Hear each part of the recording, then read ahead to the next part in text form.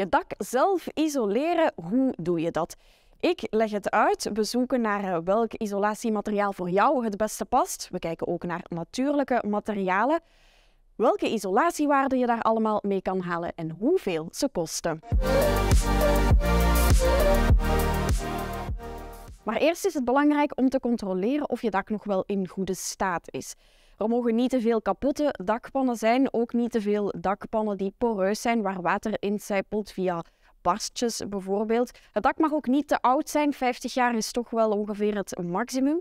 En dan is het ook belangrijk dat er een onderdak is. Dat kan een uh, soepel membraan zijn, zoals dit. De kleur maakt niet uit. Of harde platen, zoals hier. En ook bij dat onderdak is het belangrijk dat er geen waterincijpeling is. Maar je moet natuurlijk niet echt op je dak kruipen om dat allemaal te zien. Gewoon vanuit het vensterraam kun je ook al veel controleren. En als je dak in orde is, is het tijd voor stap 2, meten hoeveel plaats je hebt om te isoleren. We staan hier in een opleidingscentrum, dus hier is alles al geïsoleerd. Dit is hopelijk ook jouw eindresultaat op het eind van deze video. Maar vooraleer we daar zijn, moeten we eerst meten hoeveel plaats je hebt om te isoleren. Hier hebben we ongeveer 15 centimeter, dat is al veel. Meestal heb je maar 8 à 10 centimeter en dat is te weinig. Dan moet je een houten plank op de bestaande planken schroeven tot ongeveer 20 centimeter, afhankelijk van het materiaal dat je gekozen hebt en van de ruimte die je wil opgeven. Want hoe meer isolatie, hoe minder zolderruimte er overblijft natuurlijk. Nu we weten hoeveel centimeter we hebben, kunnen we het materiaal gaan kiezen. Uh, je moet rekening houden met de isolatiewaarde. Om premies te krijgen heb je een isolatiewaarde van R4,5 nodig. Wij hebben de berekening gemaakt voor R5, iets beter isolerend dus. Voor het materiaal peur heb je daar 11 centimeter voor nodig. Voor minerale wol 15.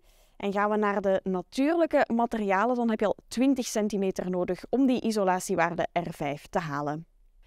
Nu, het voordeel dat deze natuurlijke materialen en deze minerale wol wel hebben ten opzichte van pur of pir, is dat ze heel soepel zijn en dus gemakkelijker te plaatsen in ons dak tussen de houten balken. De prijs dan, die is ook belangrijk. Voor pur of per zitten we aan ongeveer een prijs van 35 eh, euro per vierkante meter om die isolatiewaarde R5 te halen. Minerale wol is een pak goedkoper, daar zitten we aan 15 euro per vierkante meter. Uh, gerecycleerd katoen of gras, daar moet je rekenen op ongeveer een 25 euro per vierkante meter om isolatiewaarde R5 te halen. Houtvezel dan, dat ligt rond de 30 à 32 euro. En voor hennep en vlas, dat zijn de duurste, moet je toch een 40 euro per vierkante meter rekenen om tot die isolatiewaarde R5 te komen. Deze natuurlijke materialen hebben wel nog een aantal extra voordelen. Uh, zo houden ze iets beter geluid buiten. Ze zijn iets minder gevoelig aan vocht. En in de zomer houden ze wat langer de warmte buiten. Materiaal gekozen, dan gaan we het nu snijden en plaatsen. Je kan gebruik maken van een gewone zaag of zelfs een groot mes. Maar zoals je kan zien werken die eigenlijk niet zo goed. Er komen veel losse stukken mee. Om een volledige zolder te isoleren gebruik je daarom beter een elektrische zaag. Dat gaat een pak vlotter en je kan die trouwens ook huren. Als die isolatie goed gesneden is, past ze mooi tussen de houten balken.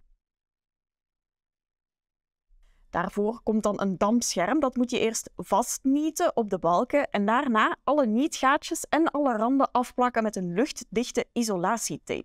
Nog een tip, tussen het dampscherm en je afwerking langs binnen kan je houten balkjes steken om de nodige elektrische kabels door te schuiven. Zo ben je zeker dat je dampscherm niet gaat doorboren.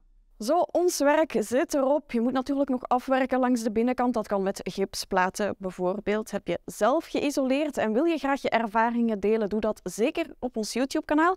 En heb je vragen, dan kan je altijd terecht op onze website.